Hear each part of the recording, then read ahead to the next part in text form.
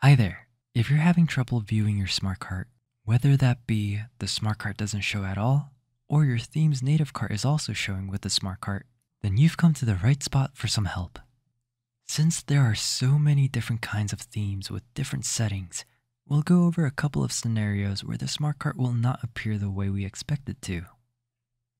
For example, some themes that have their cart type set as page will work seamlessly with our smart cart.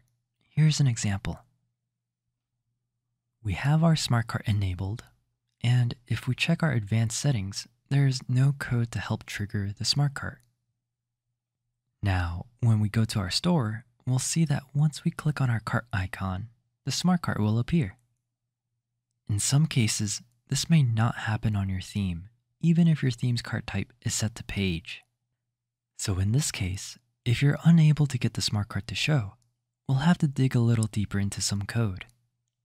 Now, bear in mind, every theme is different.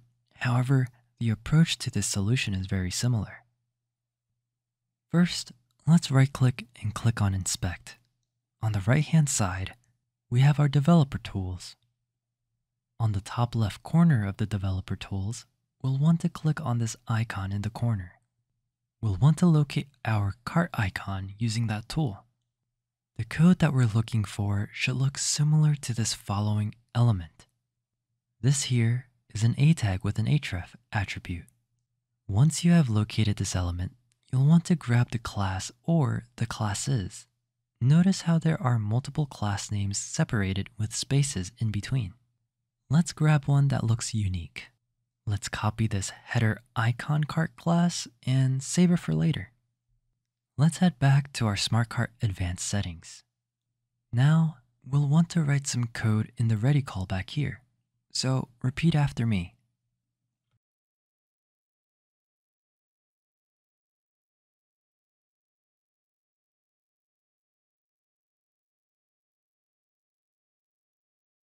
Remember that class that we copied earlier? We insert that right in between the parentheses and single quotation marks. When referencing a class, you'll want to use a period right before the name of the class. This code will add a click event on your cart icon. So once your cart icon is clicked on, then Rebuy Smart Cart will show. Now, if you're at this point and you have your smart cart, great, that's amazing work.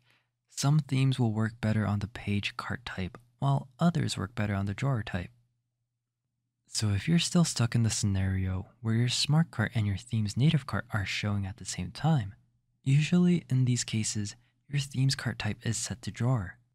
But not to worry, let's head back to our store and see what the issue is when we have two carts showing. Let's click on our cart icon. You'll notice that the two carts appeared. And it looks like in our case, the native cart is hidden behind the smart cart. Let's try closing our cart here. Now, let's list out the issues that need resolving. Our theme's native cart is showing when clicking on the cart icon and when closing our smart cart. Not only that, the theme's native cart doesn't close when we close our smart cart. So let's handle these one by one. First, we'll want to make sure the theme's native cart closes when we close our smart cart. If we don't close the native cart, we may run into a couple of issues. Your theme's dimmed overlay will persist, or you'll be stuck on the page and won't be able to scroll. Now let's do the same thing we did before. Let's open our DevTools and use that tool in the corner to locate the button that allows us to close the theme's native cart. In this case, the element that we're looking for is this button element. In some cases, it may be the A tag. Let's go ahead and grab the button's class. In this case, it's drawer close. Let's head on back to our smart cart settings, and we'll want to write some code in the hide callback this time. So repeat after me.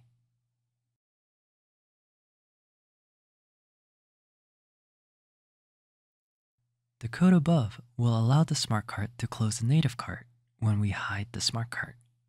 Let's save our settings and see it in action. Let's refresh our page here and click the cart icon. And let's close the smart cart. And there we go. We got both of the carts to close. Now, our next goal is to hide the theme's cart from being visible. Let's go back to our smart cart settings and disable the code for now. We'll need to be able to target our theme's native cart again. Let's return to our store page, refresh a couple of times. Let's click on the cart icon and close the smart cart. Okay, perfect. Now we'll want to target the whole cart drawer of the theme. Notice how these elements are nested in the other elements. We want to grab the parent element. In this case, this div that has the ID of cart drawer should be enough for us to hide the native cart drawer. Let's go ahead and copy that ID. Let's go back to our smart cart settings and re-enable the hide callback.